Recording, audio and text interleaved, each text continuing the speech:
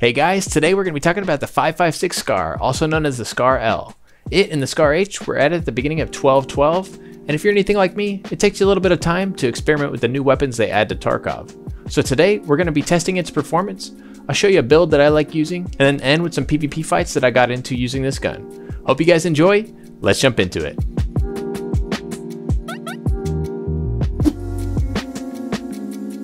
Since the SCAR has been added to the game, you haven't really heard much people talk about it, and I think what happened with this gun was it was hyped for so long, when it got added to the game, it was pretty lackluster compared to what people thought it was going to be. I think they expected it to be best in class or close to it, but I'd say it's right there in the middle.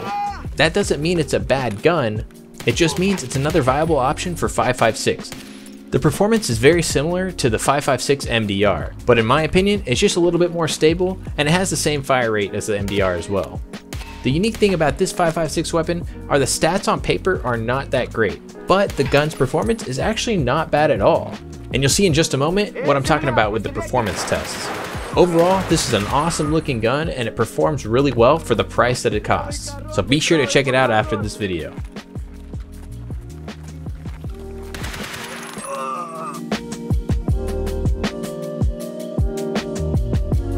So here I want to demonstrate the comparison between other 5.56 weapons like the M4 and the MDR. I got the stats as close as I could for all three weapons.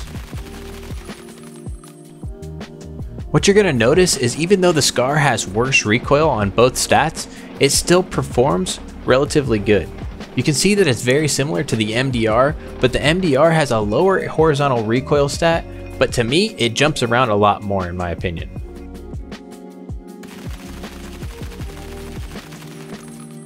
And while controlling the guns, I find it a lot easier to keep the SCAR on point in comparison to both the M4 and the MDR. The M4 is just out of this world with recoil now, but the MDR still jumps around a little bit more horizontally than I'd like.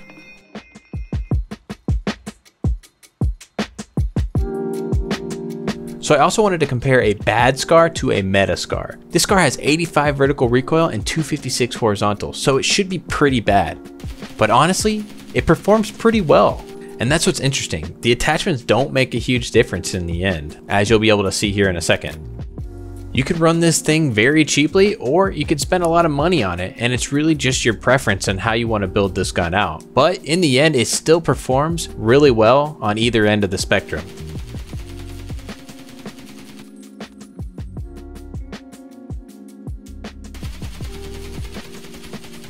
Very obvious that the bad SCAR is worse, but with the stats being 85 vertical and 256 horizontal recoil, you'd expect a lot worse performance. And that's what's kind of weird. It's almost like the stats don't matter too much on this gun, or they perform very differently than other guns of the same stat.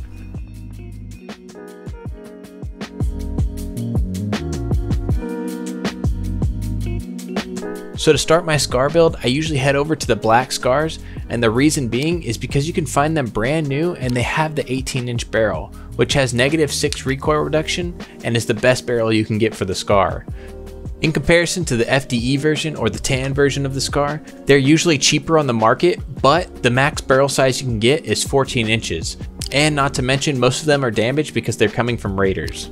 The only reason I would start with an FDE version is if you're trying to go for a high ergo build, but other than that, I would just stick with the black scar. So like I mentioned before, it doesn't really matter what you do to this gun, it's going to perform pretty well no matter what. So I'll give you a build that I've been using lately if you want to copy it. So first for the sight, I use the QRP2 mount, which is going to allow you to put the Comp M4 on top. This sight's not really that popular because it does require a mount to be on there, but it has a really nice clear dot, so I like using it every once in a while. Next, we have the SRX rail extension. This increases ergonomics and allows you to put a tactical device on the lower part of the rail. For the muzzle device, I like to use the AR-15 Surefire flash hider, and on top of that, I put the Surefire monster suppressor. And for the tactical device, I like the X400, but use whatever your preference is, as long as it's not a regular flashlight like the Predator or something like that. Make sure it is a tactical device. And for the foregrip, I prefer the Magpul RVG. It has really nice stats and it's not that expensive. And for the magazine, I would just stick with a 30 rounder, and most of the SCARs that you buy in the market are to come with one, so just use that one for now. And lastly, for the pistol grip, I like the Hogue overmolded rubber grip. So that brings the overall stats to 64 vertical recoil, 192 horizontal recoil, and 37 ergonomics, which by all means is not the best stats you can see in a gun, but these stats react a little bit differently than on other guns. So make sure you still try out this gun, regardless of what the stats look like. And then here's your full shopping list. The total for my build is around 135k if you have level 3 traders, so keep that in mind while you're building this gun. Mix and match and feel free to change things up because this gun is going to be good regardless of what you put on it. Another thing to consider, you should be running M856A1 and better. That pretty much goes for any 556 weapon at this point in the wipe. So that's going to do it for the informational part of this video. Next up is some PvP that I had with this gun. If this video ended up helping you out at all, consider giving it a like. It really does help my channel grow, and it shows more people my videos. Also, make sure you sub to the channel if you want to see my videos pop up on your home feed a little bit more. Thanks for watching, and I'll see you guys in the next one.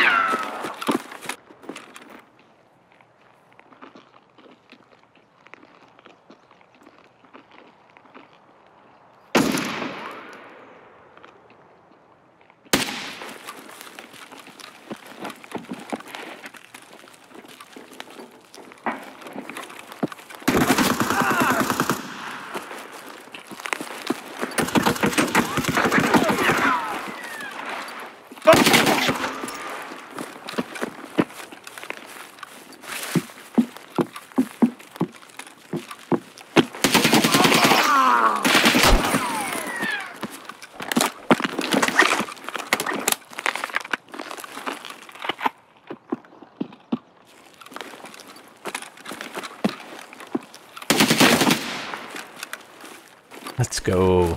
GG, boys.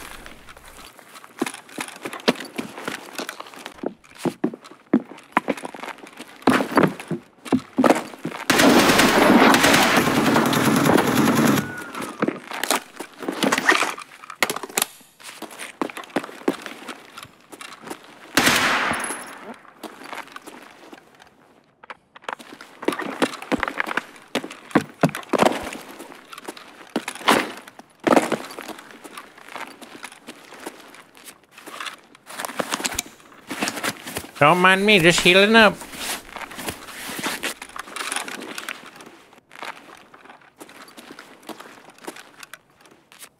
Put some fucking lip gloss on, boy.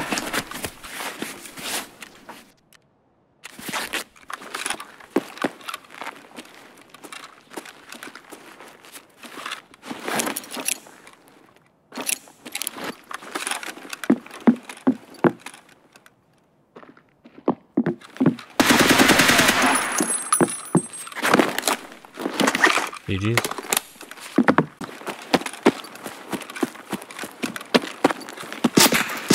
Oh god.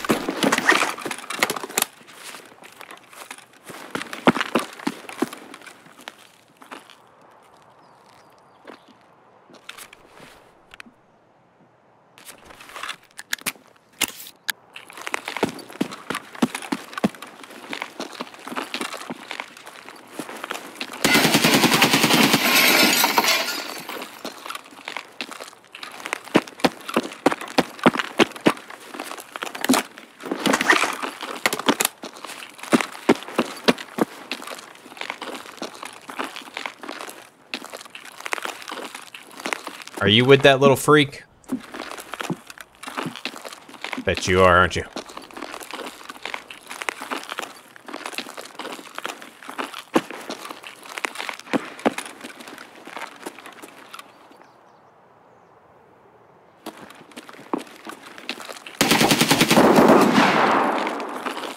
Ah, oh, you're the little freak.